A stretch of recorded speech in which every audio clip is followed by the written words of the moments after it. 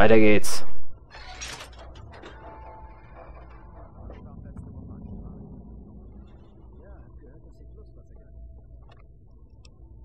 Weiß gar nicht, wo ich war, wo ich nicht. Da, Treppenhaus, Forschungslabor. Hab ich dir schon geredet? Guten Abend. Ja, du bist doch der Alki, oder? Ja? Was ist? Ja, du bist der Alki.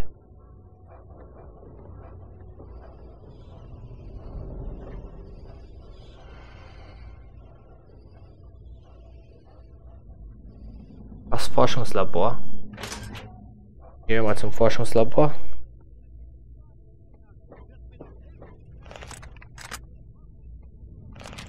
Mitteldeck.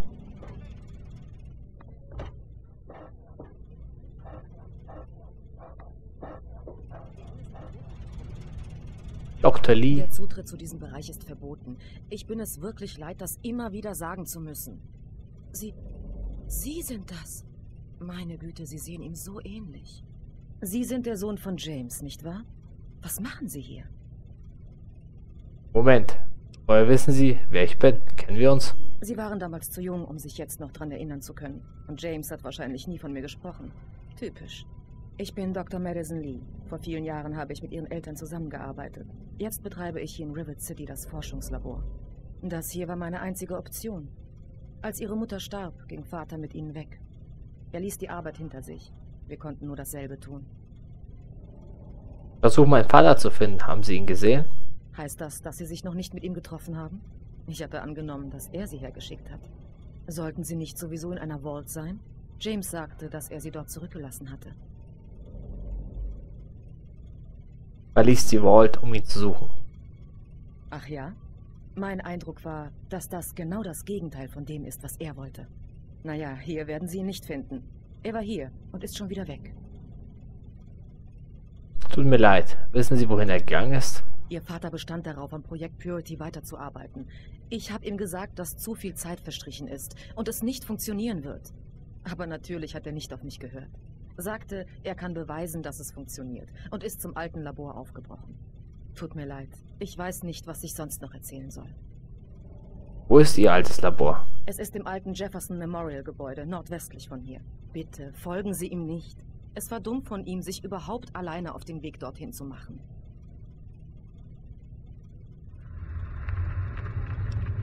Können Sie mir mehr über meine Eltern erzählen? Sicher kann ich Ihnen von Ihren Eltern erzählen.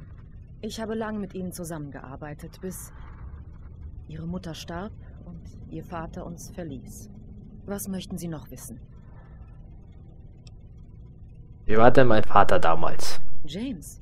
Er war sehr engagiert, wollte die Welt verändern. Naja, das wollten wir damals wohl alle. Er konzentrierte sich nur auf zwei Dinge. Auf den Erfolg des Projekts Purity und auf ihre Mutter.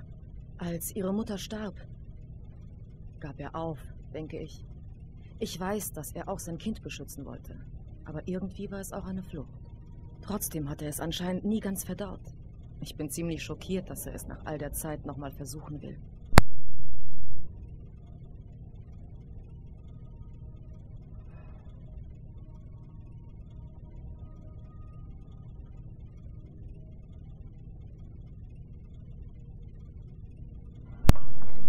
Ich habe meine Mutter nie kennengelernt. Was können Sie mir über sie erzählen? Naja, ihre Mutter war eine gute Frau. Eine engagierte Wissenschaftlerin. Ihr Vater hat sie sehr geliebt. Ihr Tod hat alle schwer getroffen. Sie hatte sich so auf ihre Geburt gefreut. Warum ist meine Mutter gestorben? Was ist passiert? Es gab Komplikationen bei der Geburt. Niemand hatte es erwartet. Wir waren nicht optimal darauf vorbereitet. Sie müssen verstehen. Wir hatten nur alte, heruntergekommene Geräte. Wir haben alles getan, was in unserer Macht stand.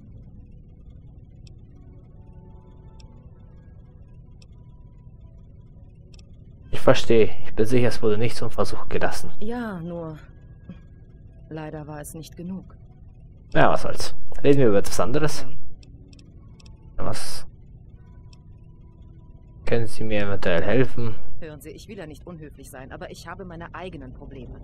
Ich habe nicht die notwendigen Mittel, um James idiotische Absichten oder Ihre Suche nach ihm zu unterstützen. Tut mir leid. Hey, Chinesin. Kommen Sie schon. Wir müssen doch was tun können, um mir zu helfen. Tut mir leid, ich kann Ihnen nicht wirklich helfen. Okay, trotzdem vielen Dank. Ich hoffe, Sie verstehen. Ich habe schon genug Sorgen. Sehr gemein. Ich würde gern mal mehr über Sie erfahren. Was?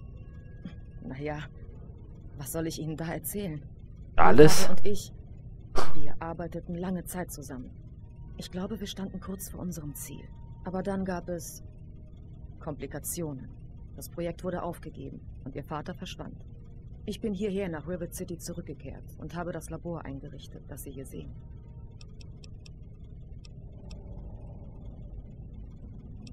Ähm, gibt ja voll viel. Erzählen Sie mir von dem Projekt, an dem Sie und Ihr Vater gearbeitet haben. Sie und Ihr Vater. Wir nannten es Projekt Purity. Was genau möchten Sie wissen? Alles. Was sollte das denn bezwecken? Wir hatten wirklich ein ganz einfaches Ziel. Frisches, sauberes Wasser für alle. So eine simple Idee. Und doch unmöglich zu realisieren.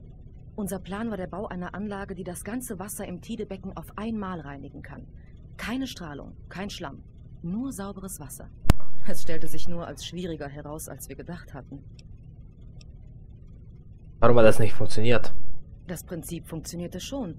Wir verstanden den Großteil der zugrunde liegenden Technik. Leider ist in der Gegend wirklich alles verstrahlt. Mit kleineren Tests hatten wir bereits Erfolg. Aber sobald wir die Tests in größerem Umfang durchführten, funktionierte es nicht mehr. Vielleicht, wenn wir mehr Zeit oder eine bessere Ausrüstung gehabt hätten. Oder haben Sie Ihre Arbeit abgebrochen? Was ist passiert? Sie wurden geboren. Aber es ging nicht nur um sie. Wir hatten sowieso schon zu viele Probleme. Und ihre Geburt brachte das Fass dann zum Überlaufen. Ihr Vater entschied, dass sie wichtiger als unsere Arbeit waren und ging. Er hat uns alle verlassen. Als er weg war, entschied die Bruderschaft, dass wir ihre Zeit nicht mehr wert waren. Ohne ihren Schutz mussten wir den Aufbereiter aufgeben. Reden wir über was anderes. Ähm? Was ist das für ein Labor? Was machen Sie hier? Das ist das Forschungslabor von Rivet City. Es hat viele Jahre gedauert, um es einzurichten, aber wir haben es geschafft. Unsere Forschung im Bereich der tragbaren Fusionsenergie und der Hydroponik schreitet ganz gut voran, wenn auch nicht ganz nach Zeitplan. Ha? Du hast von dem Typ namens Pinkerton gehört. Dieser Idiot? Der ist schon so lange weg, dass sich fast keiner mehr an ihn erinnern kann. Er behauptete, irgendwo auf dem Schiff ein Geheimversteck von technischen Geräten gefunden zu haben. Dann verschwand er einfach. Okay. River City für ein Ort? Rivet City ist eine der wenigen zivilisierten Bastionen im Land. Wir wollen unsere Gesellschaft neu aufbauen, um die Welt wieder bewohnbar zu machen. Okay. Was wissen Sie über die Geschichte dieser Stadt? Ich kann Ihnen alles über das Forschungslabor erzählen. Doch auch wenn ich von Anfang an dabei war, weiß ich nicht wirklich viel über die Entstehung. Es scheint alles schon Ewigkeiten her zu sein. Und leider hatte ich in den frühen Jahren unheimlich viel um die Ohren. Ah, okay, ja, ja. Verstehe. Viel Glück bei der Suche nach Ihrem Vater. Sie war halt von Anfang an dabei, aber sie war halt geistig abwesend. Nur körperlich anwesend. Deswegen kann sie mir nicht weiterhelfen. Aber egal. Kann ich dir hier was klauen? Die Arbeit von Frau Doktor an der Wasseraufbereitung ist sicher faszinierend, aber wisst ihr, was auf dem Ah. Spiel steht? Die Wackelpuppe Intelligenz. Ich habe eine Voltec Limited Edition Wackelpuppe gefunden. Die Inschrift auf dem Sockel lautet, man braucht die klügsten Köpfe, um zu erkennen, dass es immer etwas zu lernen gibt. Die Intelligenz wurde dauerhaft um 1 erhöht. Sie wollen mir sagen, was auf dem Spiel steht? Ein Roboter ist ein Roboter, Zimmer. Egal, wie schön er angemalt ist. Und jetzt darf ich Sie bitten, Kleingeistige Ignoranten seid ihr. Hey, Sie, äh, sind Hallo? Sie ein Laborassistent oder sowas ähnliches? Nein, äh, dafür sehen Sie etwas zu ähm, äh, verlebt aus. Kann man Ihre Dienste zufällig ähm, in Anspruch nehmen? Gegen Bares?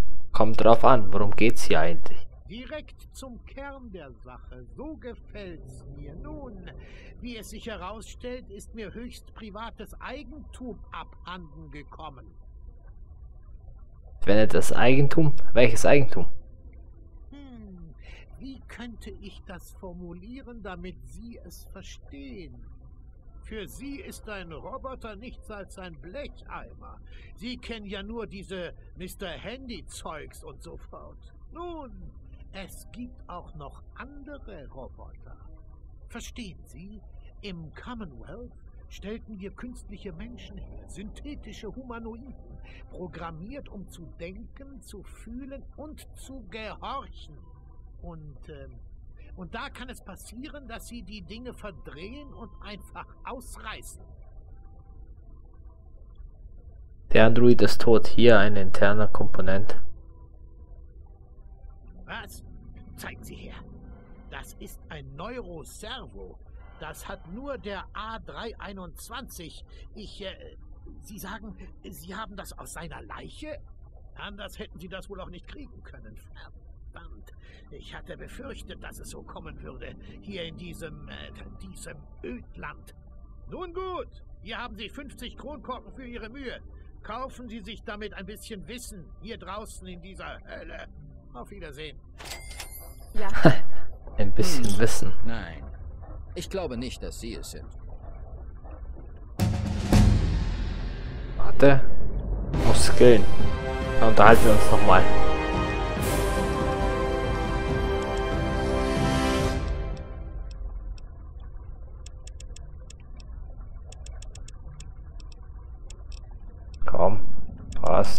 70. Nein, nicht das. Zurück. Machen wir auf 60. 65. Perfekt.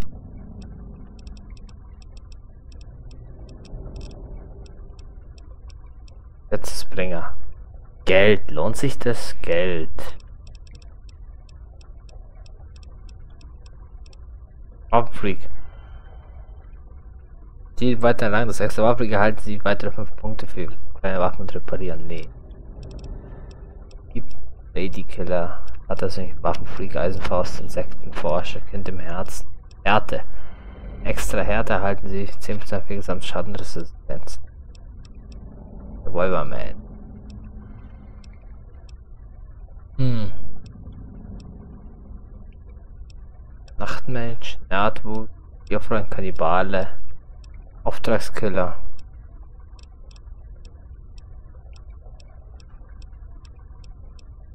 Was kill ich denn? Wissenschaft und Medizin 5. Nahkampf und Sprengwaffen.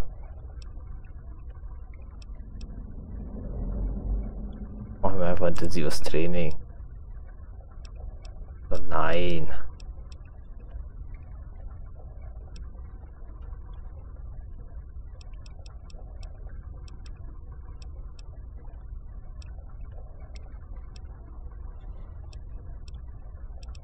Größe zählt, große Waffen.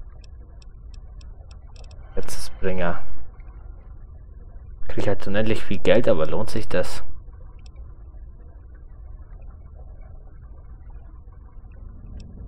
Schütze. Lebensspender. Weißer Läufer. Romane.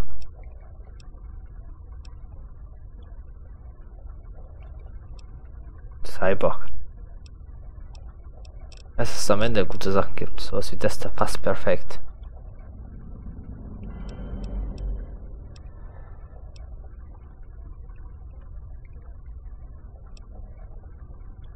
Hm.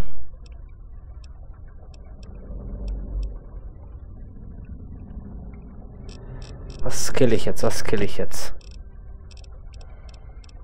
Komm, machen wir Gesetzesbringer. Ich habe 1000 Millionen. Gut, Punkte.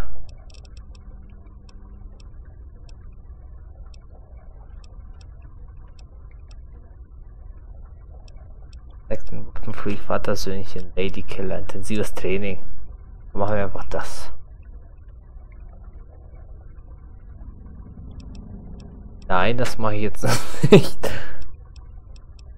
Schatzsucher. Sie behält dann wesentlich mehr Nuka-Cola-Kronkorken als sonst. Ich auch Geld ein. Und Gesetzesbringer, fertig. Das ist... Wenn Sie Dr. Zimmer auch nur ein Haar krümmen, breche ich Ihnen das Genick, als wäre es ein Streichholz. Oh ja. Da habe ich eine Notiz.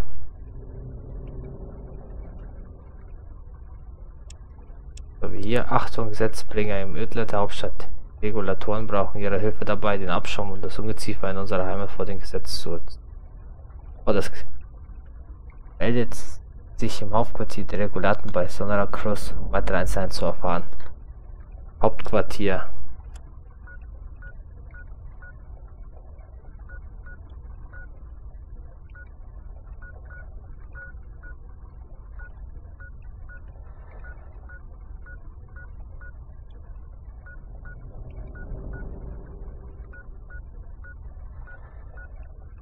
Da ist es. War ich ja noch gar nicht. Hey, Was darf's denn sein? ich suche meinen Vater. Haben Sie ihn gesehen? Hören Sie, einige von uns versuchen hier zu arbeiten. Es gab in letzter Zeit schon genug Unterbrechungen. Jeder, der hier durchkommt, muss an Dr. Lee vorbei. Warum gehen Sie nicht einfach ihr damit auf die Nerven?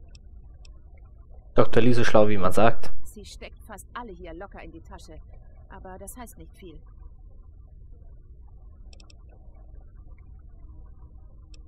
Zeit, dass ich Bis gehe. später.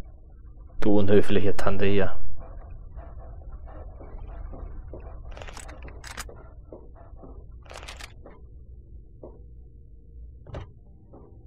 Hm.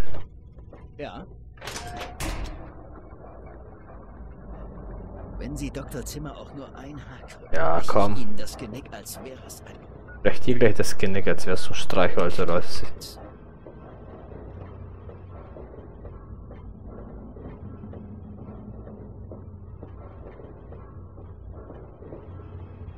Hey, Willkommen. Ziemlich beeindruckende Sammlung, nicht wahr? Kommen Sie, trauen Sie sich, sehen Sie sich um. Mein Name ist Abraham Washington, Kurator dieses kleinen Ausschnitts amerikanischer Geschichte. ja, eine in der Tat interessante Sammlung. Ah, Sie sind also ein gebildeter Mensch. Wie schön. Jedes Dokument in diesem Raum erzählt einen kleinen, aber wichtigen Teil der Geschichte der Vereinigten Staaten von Amerika. Leider aber fehlt der Sammlung das wichtigste Stück von allen. Intelligenz, es muss die Unabhängig was? Unabhängigkeitserklärung sein. In der Tat, Ihre Kenntnisse der amerikanischen Geschichte sind bewundernswert. Das wäre das Kronjuwel meiner Sammlung. Stellen Sie sich vor, das Originaldokument geschaffen durch den Menschen, für den Menschen. Wenn ich Ihnen die Erklärung bringen soll, müssen Sie mir nur Bescheid geben. Ach, wirklich? Das würde für mich und diese Sammlung hier sehr viel bedeuten. Gern würde ich die Geschichte was? in die Geschichte eingehen und Ihnen die Erklärung bringen. Hervorragend! Sie werden es nicht bereuen, das verspreche ich Ihnen. Sie sind Teil der amerikanischen Geschichte. Ich beneide Sie. Die Unabhängigkeitserklärung liegt in den Ruinen des Nationalarchivs.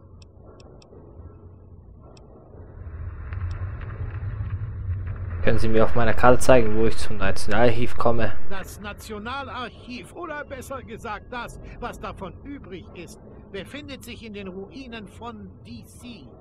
Das Dokument wird dort in einem Glasbehälter aufbewahrt. Aber passen Sie auf, das Gebäude ist voll von Supermutanten. Hier, ich zeige Ihnen, wo das Archiv liegt. Okay. Kennen Sie die Geschichte von River City? Komisch. Jetzt, wo Sie fragen. Ich kann Ihnen alles über die Hauptstadt erzählen, aber ich habe keine Ahnung von Rivet City selbst. Ich wüsste nicht, wieso sie wichtiger sein sollte als die der Hauptstadt. Aber vielleicht weiß Bannon etwas. Schließlich ist er im Regierungsrat. Okay, danke, ich muss jetzt Ich los. hoffe, dass Sie bei unserem nächsten Wiedersehen die Unabhängigkeitserklärung in der Hand halten. Ja, Opa. Wenn du mir zahlen kannst? Jetzt schauen wir mal die Geschichte Amerikas an. Hm. Kommen bei der gesellschaftlichen Erhaltung der Hauptstadt. Haben wir hier ein Kohleautomat. Eine Hundehütte.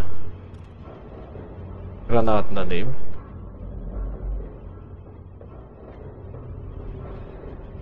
Dickes Flugzeug. Eine Werkbank.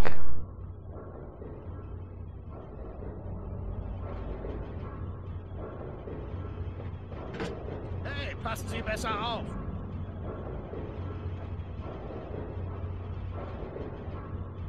Echt ist das aktive Kräfte mich an? Hallo Leute, hier spricht Three Dog, eure Stimme in der Finsternis.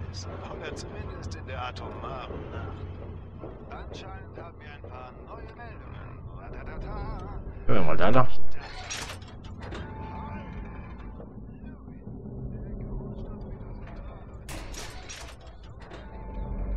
Sehr schwer. 100, wow.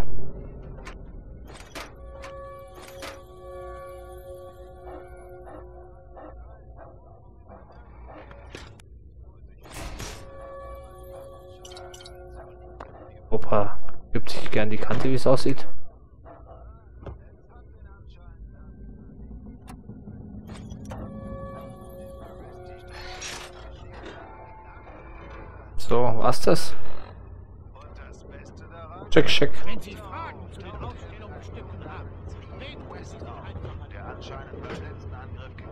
Worden war. Was ist Hm.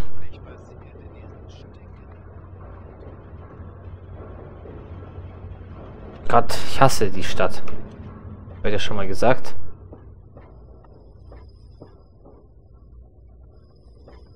Hier bin ich doch vorhin gekommen. Glaube ich. Davon aus.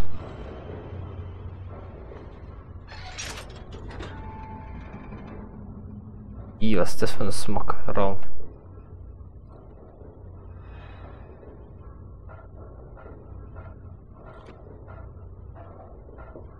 Wer auch immer hier wohnt, tut mir leid. Das die Kirche, oder? Beten wir an. Ein ruiniertes Buch, ein Teddybär. Wendebüchse.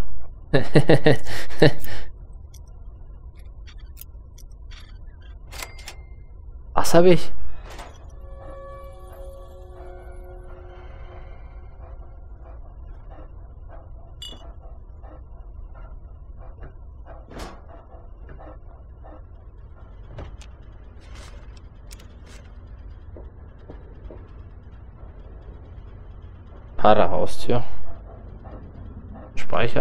Los geht's.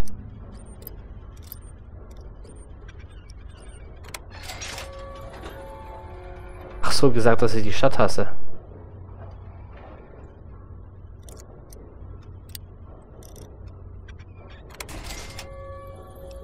Ein paar Kronkorken. Die ist unübersichtlich, die Stadt. Weil zu viele irgendwie. Gänge sehen halt alle gleich aus.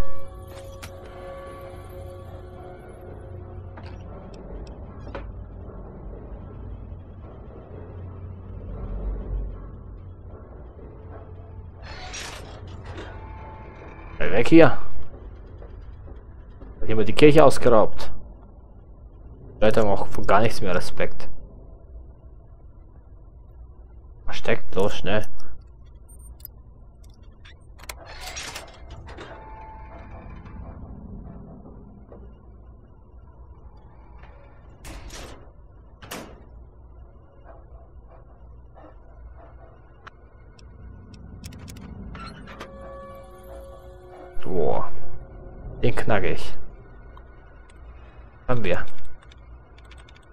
Converted. Drei. Wow.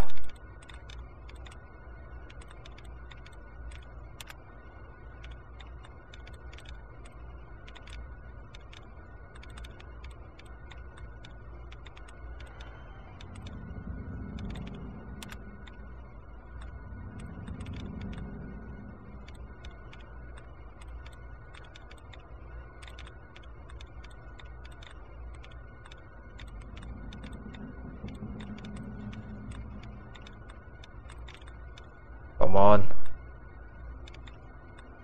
Hier ein paar Dinger kaputt machen. Ein paar Bomben. Ja gut. Erlaubnis aufgefüllt, ist auch okay.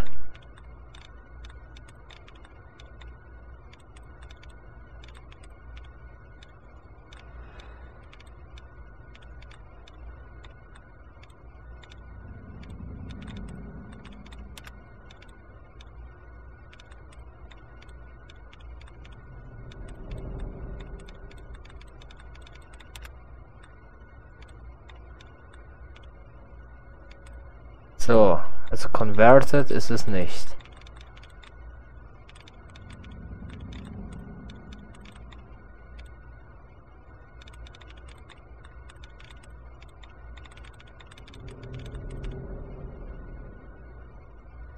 Consisted. Drei. Countdown. Vier.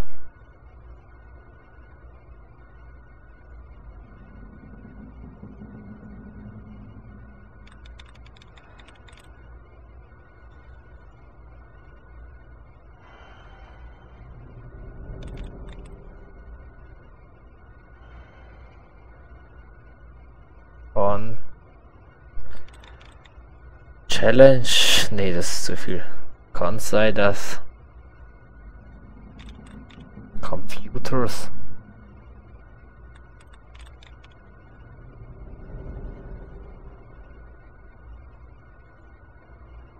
Da. Jo. Haben wir hier. Den für Überlebenswaffen. Hat eine Idee für eine Überlebenswaffe. Überall im Müllland liegen Gleisnägel herum. Müsste doch eine Art von Schleuder bauen können, mit der ich Gleisnägel wie mit Kugeln schießen kann. Ich habe es mit ein paar sehr großen Gummibändern probiert, aber das hat nicht funktioniert. Könnte man vielleicht Dampf als Kraftquelle benutzen. Bannon. Dr. Lee. Wir wissen beide, dass Bannon nicht die beste Interesse von Red City verfolgt. Er denkt nur an sein eigenes Profit. Für einen einzigen Kronkorken mehr würde er seine eigenen Kinder verkaufen, wenn er welche hätte. Er muss abgesetzt werden. Ich würde mit Freude an seiner Stelle treten. Freundlich grüßen, Dick Raver Holmes. Ray, Dick Raver. Ich möchte nicht in politische Intrigen eingezogen werden. Bannon hat nichts verbrochen. Sollte er eh etwas wirklich Schlimmes für Red City anrichten, werden sich die anderen Ratsmitglieder darum kümmern. Bis dahin habe ich ein Labor zu leiten. Okay. Er will eine Waffe herstellen, aber... Der ist ganz gut, wenn ich jetzt so lernen würde von denen. Da habe ich was. Ein belastender Brief. Wir haben uns jetzt bereits zweimal abgewiesen, Holmes. Dies ist mein letzter Appell. Wir waren einmal Freunde. Wir haben miteinander Geschäfte gemacht. Wir lediglich unsere Produkte in Real City verkaufen bin sicher, dass die Stadt Sklaven gebrauchen könnte, beim Wiederaufbau helfen. Paradise Falls hat Sklaven zu verkaufen und zu einem guten Preis. Die haben mir früher Ödländer verkauft, die gefangen genommen haben, bevor sie so überheblich geworden sind. Ihre Weste ist nicht so rein, wie sie vorgeben. Helfen Sie mir, dann können wir beide eine hübsche Profit machen. Der Jones, der alte Jones, macht Menschenhandel, so so. Dann nicht irgendwie ein Safe hier oder so, wenn er schon anspricht, dass er...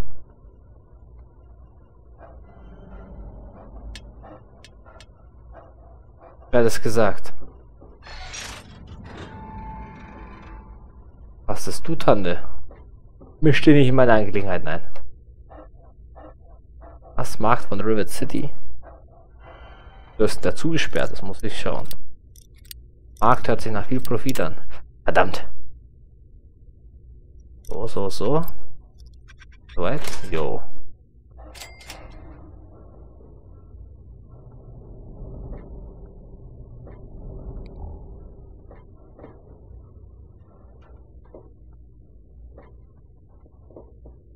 Du verziehst dich besser, wenn du dir was Gutes tun willst. Warum? Ich bin im Dienst. Fassen Sie sich kurz. Ich habe gehört, dass Rosil von einer Art Rat regiert wird. Weg.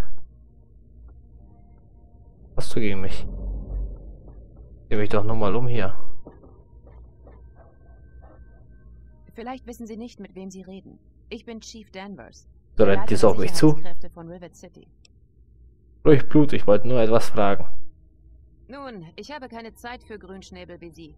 Wenn Sie was zu sagen haben, raus damit. Ich möchte jemanden melden. Ich habe gehört, dass Riot City von einer Art... Art nee, ich möchte jemanden melden. Wirklich? Wenn jemand Ihr Zeug klaut, holen Sie es sich zurück. Wenn Sie beschossen werden, schießen Sie zurück. Sonst muss ich es mir selber ansehen, bevor ich irgendwelche Schritte unternehme. Kann man hier irgendwo was trinken gehen? Ein sauberes Lokal wäre nicht schlecht. Was ist los mit diesem James? Er benimmt sich wie ein Rotzbengel. Können Sie mir etwas über die Geschichte von Road City erzählen? Tut mir leid, aber ich weiß nicht wirklich viel über die Stadt. Ich mache mir viel mehr um das Hier und Jetzt Gedanken, wissen Sie? Okay, ja. Die waren sehr hilfreich. Okay.